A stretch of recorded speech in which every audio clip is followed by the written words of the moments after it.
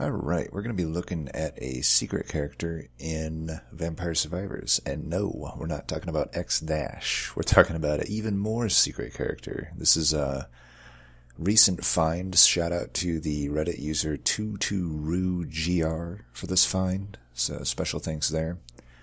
And we're going to just give it a shot here and do it live, so to speak, you know, and uh, see if it works. So basically, you got to do some hacking here uh, so I'm going to post a little uh, path to where you're going to find this file. It's going to vary based on where your Steam is installed and where you installed Vampire Survivor, but generally you just, you know, find your Steam, basically find your Vampire Survivor um, file, uh, main.bundle.js, and then we're going to edit in here anything the uh, original user recommended garlic and so we're just going to do that. But you could really use anything. You're just going to search for whatever the the weapon is .png.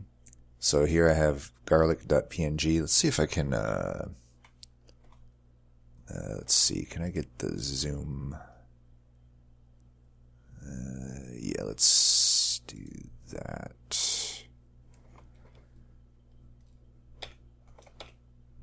Okay, why the does this hotkey not work? Sorry. Um, whatever. I guess I'll just. Here we go. Okay, so we're going to search for garlic.png. Um, and then we're going to find the uh, power here. And rem- remember what it was and whatever you're changing, because you're going to obviously want to change this back. What we're doing is we're making the actual power of whatever uh, weapon we're changing here be gigantic. That way we can kill death because you can't kill death normally.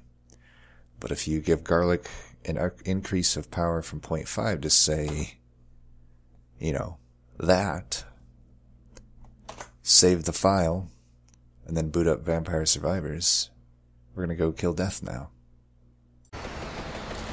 Alright, moment of truth coming up. Will this work?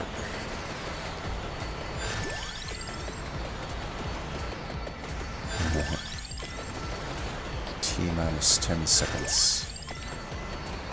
I Also like to point out how impressive it is that people can get to level 100 on this game. I literally cheated by, you know, I hacked and I didn't even get to it. Alright, we got him. Uh, so, what now? Do I have to uh, exit the game? re let's retake a look at that. Um, let's see.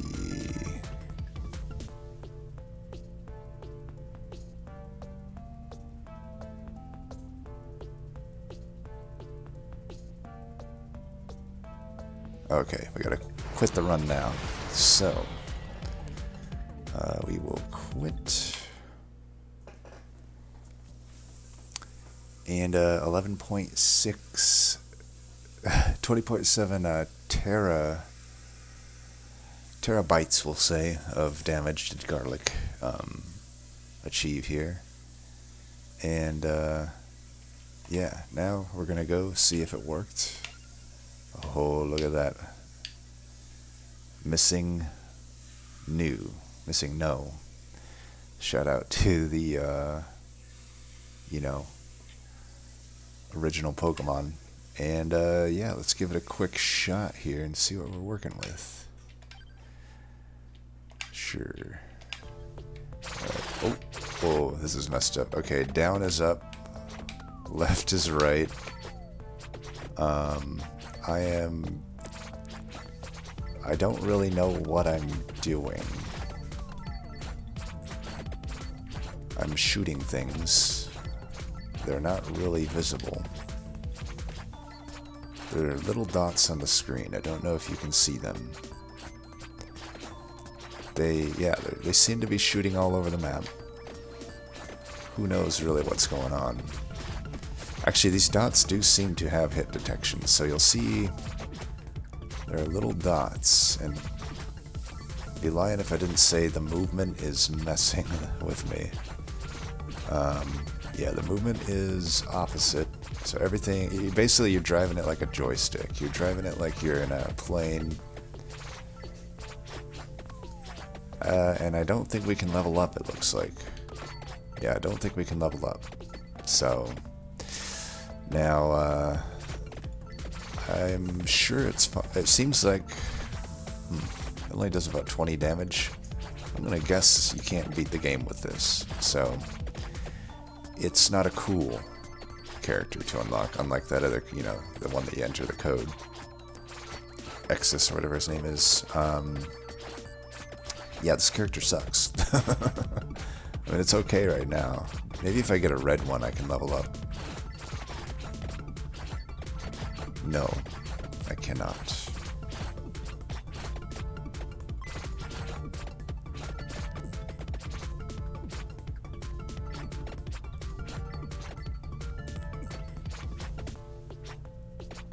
I mean, we're going to see how long we can survive, right?